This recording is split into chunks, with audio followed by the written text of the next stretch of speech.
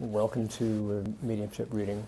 Um, one of the things I always uh, tell clients is that the critical aspect of a mediumship reading is the energy that we're able to create. Uh, and that's really the foundation for generating a great signal. It's an analogy that I always use is the cell phone battery. If the cell phone's got a great battery, we're going to get a great signal. If the cell phone doesn't have a good energy you know, battery, we're not going to get a signal. So we need to generate a lot of energy, and the best way we can get energy is through love. So think loving thoughts, think positive thoughts, think happy thoughts, think open thoughts. Be open to whatever happens. You can open your mind, open your hands, open your legs. Just well, open um, thing is just to be open to uh, you know spirit and allow yourself to connect. Um, and I think perhaps the most important part is just to uh, invite your loved ones and light, you know, to draw near. Um, one of the things that uh, I'm going to do is really focus on uh, the prayer so that we can get close to Spirit. And then we'll do a small preparation so that we can really feel ourselves reaching toward Spirit and invite them to us. Okay, so you ready? Ready. Okay. Divine, blessed Creator, source of all energy, draw close to us and help us to gather near with all spirits and guidance, and help us also to find out who our spirits are, not only for the highest good for all concerned. We allow a spirit to draw near, and we invite spirit to draw close uh, to our energy and our essence. In God's name we pray. Amen. Amen. And what I invite you to do is to close your eyes and just focus on your breathing. Focus on the inhalation and the exhalation. And on the inhalation, feel yourself inhaling love. And on the exhalation, feel yourself exhaling peace. As you inhale, feel yourself inhaling love and light from the Creator, exhaling peace and harmony, and just feel your body relax. As you inhale, feel yourself just inhaling love and light of the Creator and all of its peace, and just allow your body to relax as you exhale peace and tranquility. Begin to focus now on your solar plexus, right below the diaphragm, and begin to feel that there is a spark of energy, a small ball of energy in your diaphragm, your solar plexus. As you inhale, you're inhaling light that's making that ball of energy brighter and brighter. And as you exhale, you feel that ball of energy grow larger and larger. As you inhale, it grows brighter and brighter, and as it exhales, it grows larger and larger. Your entire torso now is filled with spirit energy. You can feel the spirit energy growing within you, for you are spirit. Feel it growing through your arms and your legs and your head, beyond the physical, out into your aura. You can feel your energy continuing to grow you don't have to do anything. It just continues to grow out through the rest of the room. Begin to think of your loved ones now. Feel your loved ones, feel their essence, feel them drawing closer to you, feel them coming closer and closer.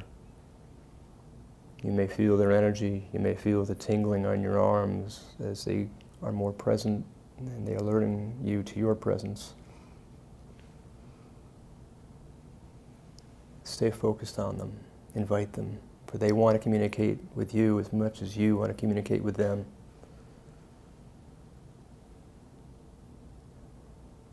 Begin to slowly come back within your body, within your aura. Slowly coming back within your torso.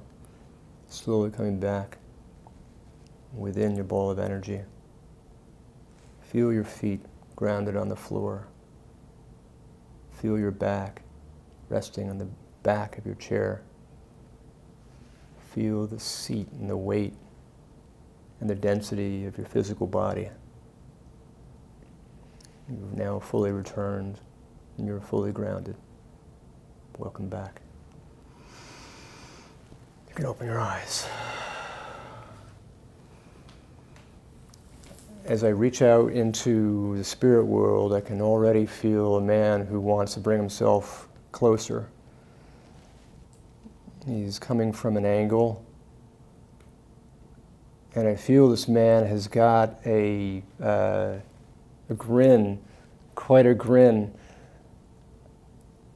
I feel like this is a man who wants to. Oh, I feel, I feel him. Uh, he, he's really near me right now. I feel him uh, tingling up my arms. Um, he's really drawing close to me now. I feel like this is a kind of man who's quite raucous, um, very funny, um, doesn't really care about a lot of uh, perceptions that people will give him. And it's just, uh, uh, I feel like he's uh, got like short hair on the sides or, or, or kind of like shaven or something. I don't see a lot of hair on, on, on his head. Does, it, does, any of this make any sense? Do you understand, you understand a man in, yes. in Yes, okay. Absolutely. Okay. Um,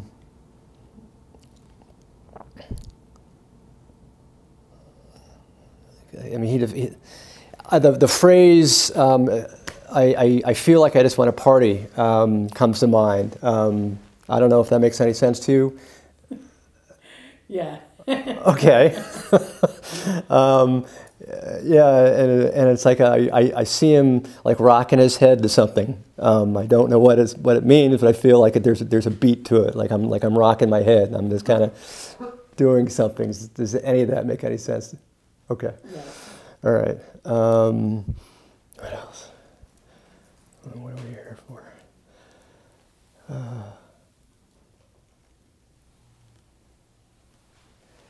I feel like you've spoken to this man before because I'm hearing um, I didn't get to talk to you much yet, yet being the operative word. So does that make sense that he has not been able to speak with you yet? Yes. Okay. Um, but you have spoken with him before? Yes. okay. Um, okay. and now I'm hearing, um, you didn't think I'd let you go that easily. this guy feels like he used to, um, when he was in the physical, really liked to, he was a kidder. He was a, he was a guy who just wouldn't let it go. Yes. Okay. Um,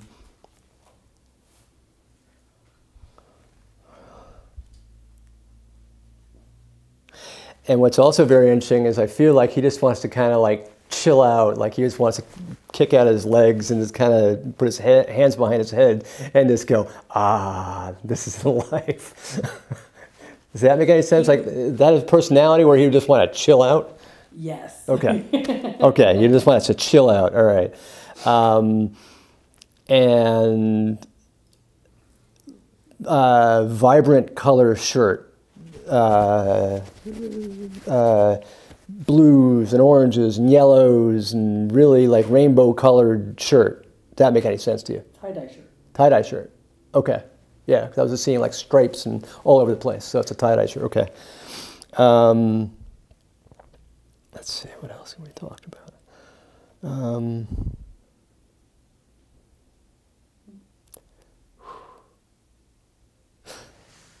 oh, yeah, wow. Um, uh, he's got somebody on his left hand, or to me, it looks like uh, it must be his right hand, because he's walking to me like this, and it's on my left side, but it's his right hand, and there's somebody short walking with him on his right hand. Looks like a somebody this big, small child. Does that make any sense to you? Possibly. Okay. Um, doesn't seem very tall, and they know each other. Um, who are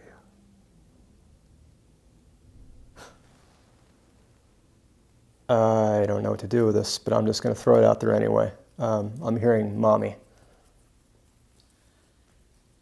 I have, um, I lost a son in 2015. Um, he was a baby. Um, my, uh, this person who you're describing to a T, um, is actually my uncle. Uh, the colorful shirt is a, um, he was a Grateful Dead head. and, um, he always, you know, the different colored bears and the tie dye shirts and the, um, and he was very much a, uh, he was crazy. He liked to Right. party. yeah. Okay. Um, Okay, um, but does it because what I'm what I'm thinking is, and I, I hate to think, but I mean I'm this this short person that was holding this man's hand um, was just like looking at me and saying, and I just heard the word mommy, so that so I have to honor the he word five. mommy. Okay, well, if he's five, then is that how tall a five-year-old would be? I don't remember how tall a five-year-old because mine's, you know, mine's much older than that now. but I mean, it, it, it was pretty. He was pretty short. He did not look. I mean, he was coming up to like barely his knee. Uh, I mean, I, I just I just saw he was short and he was holding his hand, so it, it felt like a very like a young child um, who could speak and say "mommy." So that was what was coming through. So I'm just going to leave that with you. Um, what else?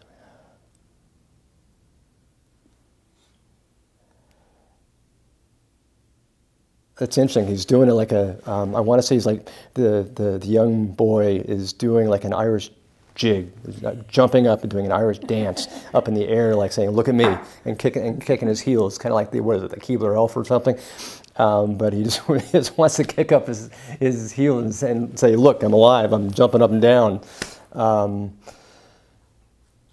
so he's definitely with you. And this man, your My uncle. uncle, okay, this man, your uncle, uh, clearly was quite a character, and he's clearly with You you. shouldn't be the one watching the kids. Well, apparently they're having quite the time. They're having quite the time. Uh, I don't know what's going to happen, but up there, you know, who knows? Um, let's see, what else do we love? This is interesting. Um, I'm also getting a feeling that your uncle is now kind of showing me like a serious side to himself, and I want to say that there's like a responsible side to him, um, which I think was in response to your comment, um, because all of a sudden I, it's not like he took offense, but I felt like that it's it's like you know there's like wait a second I am responsible, um, and it's like there was like the serious side that came over him. Um, so, sorry. so I'll just let you uh, let, let you know that he uh, clearly does have a serious, responsible side. Um,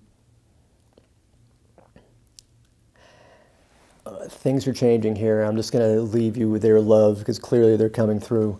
Um, but now I want to talk about a woman uh, who wants to come through. Um, the word matronly is coming.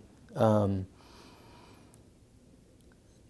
I got the feeling I wanted to talk about it like like almost like a nurse, but nursely, like a, like, like maybe she acted like a nurse, maybe she was a nurse.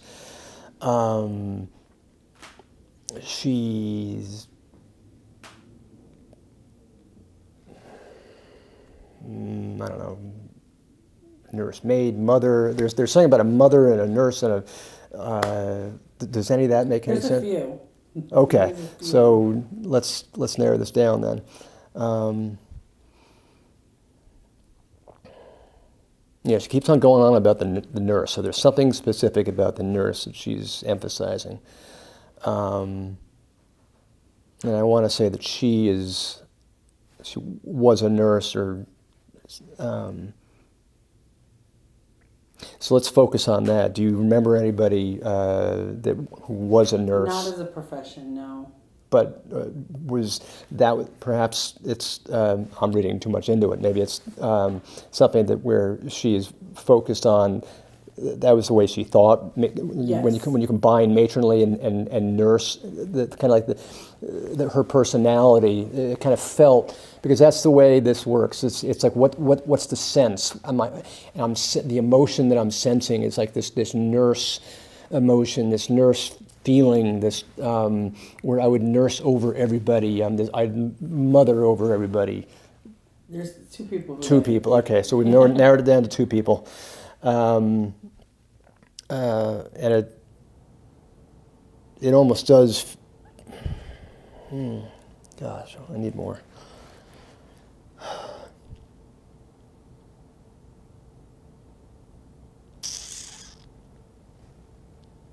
I don't want to call it a. Uh, don't want to call it a mother either.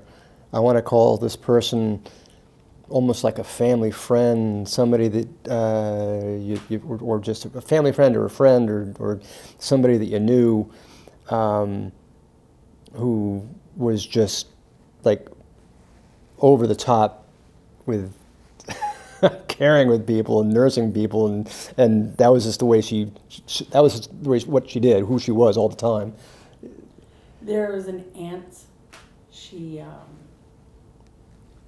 she had one child who was older Okay. than all of us. All right, so it's because that's what that's what I that's what I'm feeling. It's like this. It's it's not the mother, but it's like it's like out. It's like She was definitely outside. She Yeah, wasn't right. Okay. immediate family, but all Right, the kids right. would. Okay, so that's it's it's got to it's got to be this this this aunt because it, I, I knew it was one of two people, not the mother. Has to be the other person that was not in the nuclear family, um, not in the immediate family. So uh, we're going to go uh, with this aunt who was focused on being extremely uh, nursing and with that uh, method. You have love?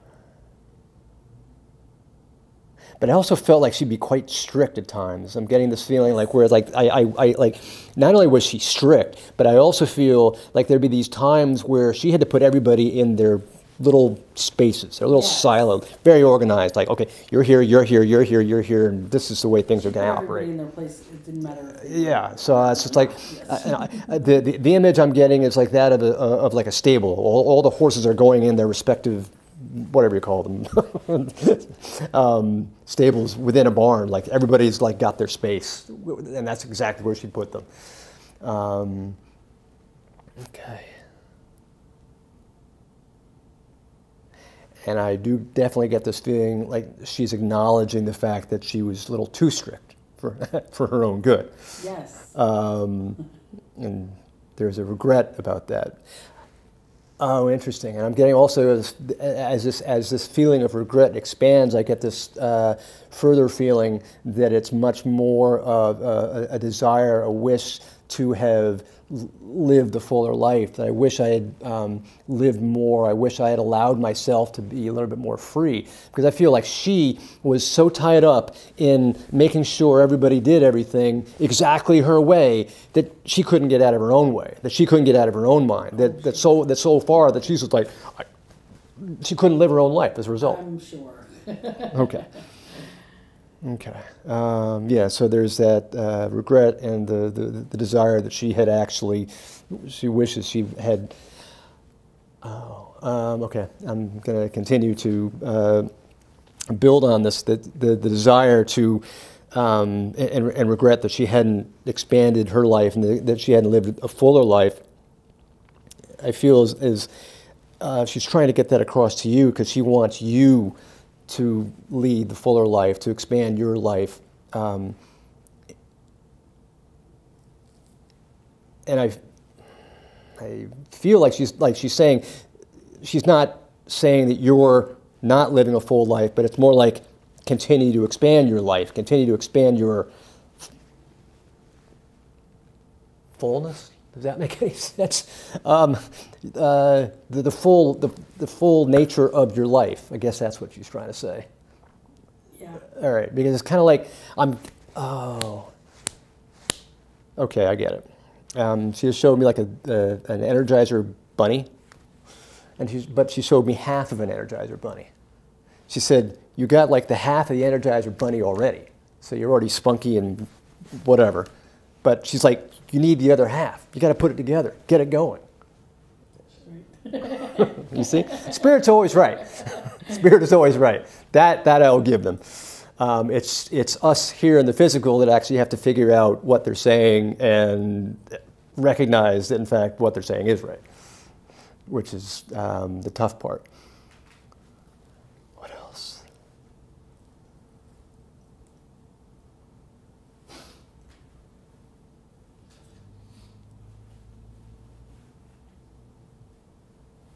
Yeah, and she's just like, ooh, okay. Um, I'm, just, I'm feeling this incredible feeling uh, around my chest as her love uh, expands. Anytime I get this feeling where it's like it starts in the center and expands outward like these rays, it's like this feeling of expanding love, and it's just like the sense that's going out to you that she's like sending you all this massive love.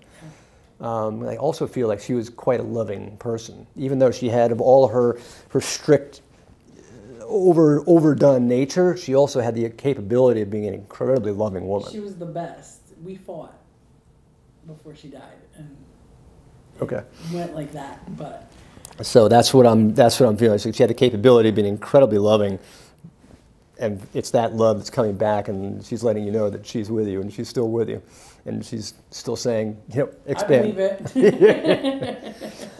So with that, I will leave you with uh, all of their love, and it felt like uh, those three people came through uh, quite lovingly. So thank you for working with me. Thank you. Thank you.